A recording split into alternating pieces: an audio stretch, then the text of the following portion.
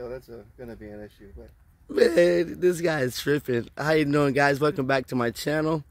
Guess what? Another Bigfoot truck. I just met this guy and he says uh, it, is, it is definitely for sale.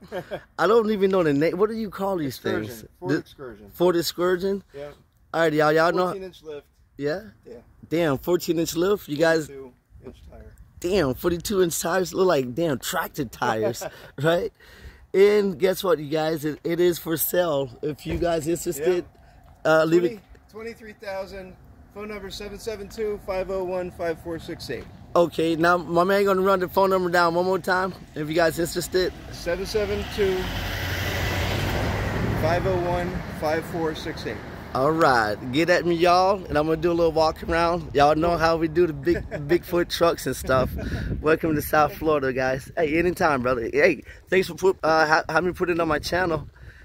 Yep, it is definitely for sale, and it runs nice and everything, right? Yeah, it's got a new engine. Oh, nice, Three years ago, V10. Nice. It has a couple of little issues. But Yeah. Oh, that ain't no problem. I sure ain't nothing my fans can't fix.